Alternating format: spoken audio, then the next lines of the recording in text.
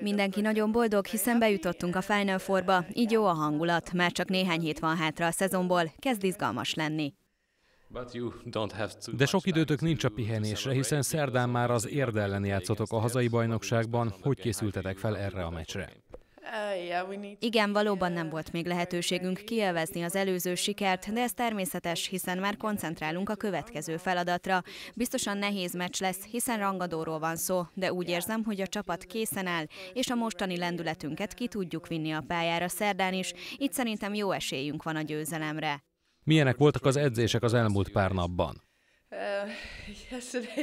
Hát tegnap azért még kicsit szétesettek voltunk a hétvége után, de ma már sokkal koncentráltabb mindenki. Pontosan tudjuk a feladatunkat, és készen is állunk, hogy végrehajtsuk azt az érdellen. Az első meccset 13 góllal nyertétek meg. Lehet újra ekkora a különbség? Um, Nem hinném, biztos, hogy az érd is nagyon készül ránk, és hazai pályán bizonyítani akarnak majd. Ráadásul valamivel többet is tudtak pihenni, mint mi, úgyhogy ezúttal egy szorosabb meccse számítok.